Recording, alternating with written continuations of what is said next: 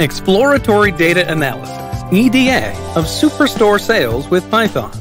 Chapter 5 Descriptive Statistics. Here, let's start descriptive statistics. What is descriptive statistics? Descriptive statistics is a study of data analysis to describe, show, or summarize data in a meaningful way. Got it.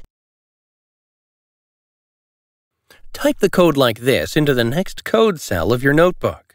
What does this code mean? This code gets descriptive statistics summary.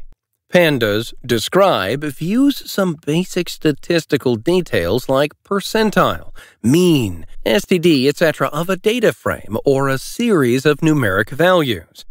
If you wanted to include all columns in describe, then set include equals all. Got it. Click on the play button or hit Shift plus Enter. What is NAN? For the columns with strings, NAN was returned for numeric operations. Got it.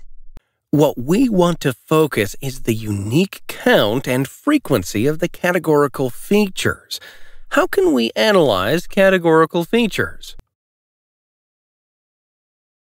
There are four ship modes and three customer segments in the United States. The store carries three category of items with 17 subcategory. Well done!